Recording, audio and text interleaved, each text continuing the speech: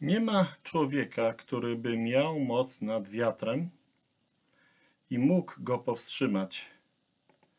Nikt nie ma mocy nad dniem śmierci. Księga Kaznodziei Salomona, ósmy rozdział, dziewiąty werset. Nikt nie jest w stanie przedłużyć swojego życia, gdy nadejdzie chwila śmierci. Nikt też nie ma prawa ani pełnomocnictwa od Boga, aby je skracać.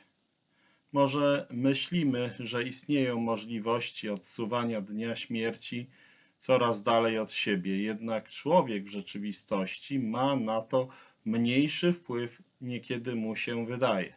W zacytowanym na początku fragmencie kaznodzieja przedstawia ten fakt tak, jak ma on miejsce każdego dnia pod słońcem. Kaznodziei Salomona 1,9 Istnieje jednak wyjątek. Pan Jezus miał absolutną władzę nad chwilą swojej własnej śmierci. Posiadał moc, aby wziąć swoje życie z powrotem. Rzymscy żołnierze przyszli i połamali nogi dwom złoczyńcom ukrzyżowanym z nim, aby przyspieszyć ich śmierć. Kiedy jednak podeszli do niego i ujrzeli, że już umarł, nie połamali goleni jego. Z tego też powodu Piłat zdziwił się, że już umarł. Ewangelia Jana, 19 rozdział, 33 werset oraz Ewangelia Marka, 15 rozdział, 44 werset. Uzasadnienie tego jest nader piękne. Ludzie znęcali się nad Jezusem i ukrzyżowali Go, jednak jedynie sam Syn Boży miał moc nad chwilą swojej śmierci. Jakże często okazywał tą moc, gdy jego wrogowie próbowali go zabić. Nie mogli mu nic uczynić, gdyż jeszcze nie nadeszła jego godzina, czyli godzina przez niego samego wyznaczona.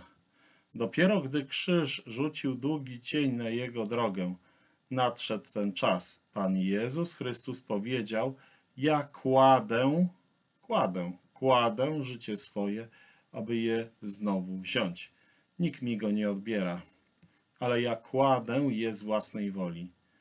Następnie zawołał na krzyżu, wykonało się i skłoniwszy głowę oddał ducha. I czytamy o tym w Ewangelii Jana, 7 rozdział, 30 werset oraz Ewangelia Jana, 8 rozdział, 20 werset oraz Ewangelia Jana, 10 rozdział, 17 i 18 werset. Ewangelia Jana, 12 rozdział, 27 werset. Także 13 rozdział, 1 werset oraz 17 rozdział, 1 werset i 19 rozdział, 30 werset.